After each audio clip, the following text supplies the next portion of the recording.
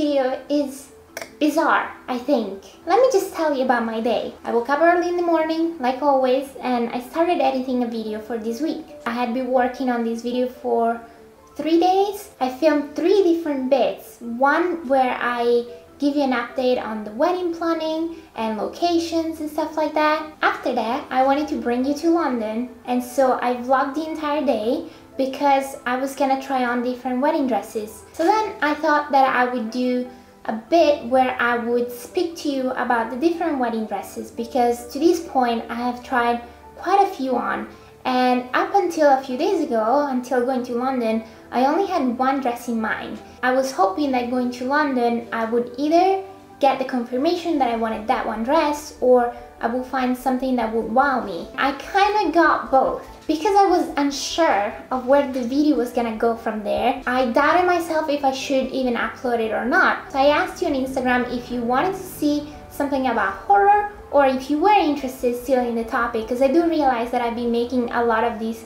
wedding themed videos so I didn't want to put out more stuff if you guys were bored of it. I edited the whole video. I was pretty happy with it. It took me a long time because actually the whole video turned out to be 17 minutes which for me it's an extremely long video, you know me. The whole concept of that video was to get your feedback on the different wedding dresses that I was trying on. I tried on one that really wowed me, but it was also a high fashion dress and even though I could afford it, I still felt like the dress that I originally had in mind was the one for me. I paused for one second. I didn't export the video and I decided not to upload it. Instead, I sent an email to the designer telling her that that was the dress that I wanted to start working on it and I got so excited that I couldn't think about anything else but because this happened I didn't have a video for today and so I was like what do I do I do have a piece of paper in front of me that says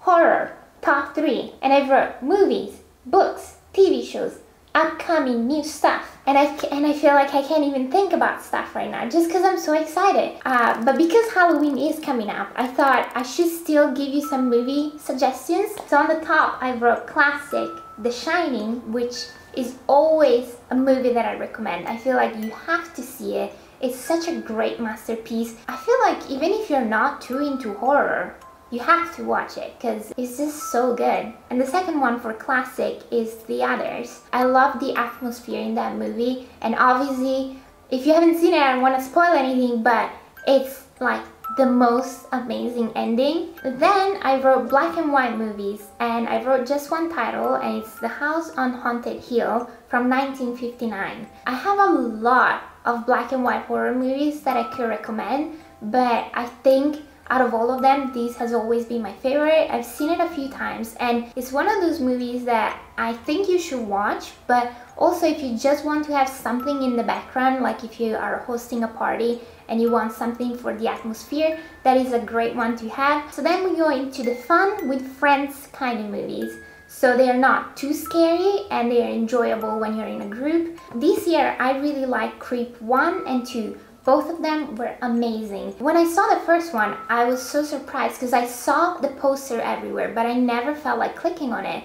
Then I put it on and it was so enjoyable. It's so uncomfortable and funny at the same time. And the second one, I already knew what to expect, but I really liked it because I watched it alone on, on a, one of my videos actually. It's about this YouTuber that happens to interview Creep, the guy, and it's so good. I think on Halloween, you should watch Halloween, the original one. And I'm super excited about the new one, but the original one has something more compared to the others. And it's not due to nostalgia or anything like that. I hadn't seen it until a couple of years ago. So it's not because I was attached to that in any way, but because I mentioned nostalgia, there are some movies that I loved as a kid for example, Rose Red, which is I think the very first horror movie I've ever seen. It's really a mini series because it has four parts one hour each. I think it was inspired by the Winchester House, is that what it's called? Which I know there's a horror movie that was pretty recent about it, but I haven't seen it just yet. So if any of you had seen it, please let me know if it's worth watching or not. Of course, I have to bring up the Scream series. How many movies are there? I think it's four. I didn't love the last one. But the first two in particular, are so amazing. Then I wanted to mention Hereditary, which is a movie that's been talked a lot this year and I think it's definitely worth watching. I think it's one of the best ones that has come out in the horror genre this year. The actors were really great. I don't want to spoil anything, but watch it. I was actually looking up movies that were similar to that and apparently there is one called Satan's Slaves that came out before that and it's out right now so I'm totally gonna watch that. Just putting that out there, I haven't seen this other movie but might be worth checking out. The next movie I wanted to bring up is The Boy. If you are into mansions and creepy dolls, this will be for you. It's so creepy throughout the whole movie and then when the ending comes, you're actually so satisfied. Ooh, What's the title? Ooh, Stalker, Stalker. I didn't write it anywhere here.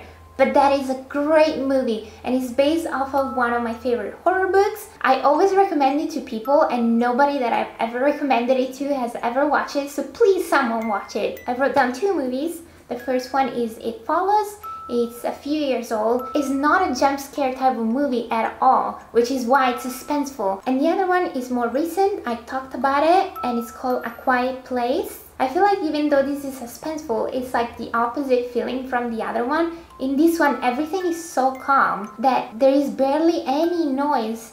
And then you're so focused on the movie that the smallest noise will make you jump. And that is my list. I'm sure i missed so much. I just i wanted to work on this more. When i asked on instagram if you wanted me to do either horror or wedding stuff the votes were pretty close. So hopefully in this video I cover both. But before I go, I do wanna bring the attention onto my hoodie. You may have noticed that it's the new Tsuki hoodie. This is the first piece of the fall collection that is ready. The whole line is going to be ready very, very soon. So I wanted to let you know it's coming. Just wait a little bit longer and it's all gonna be ready. But yeah, that is it for today. I'm gonna go and I will see you very soon.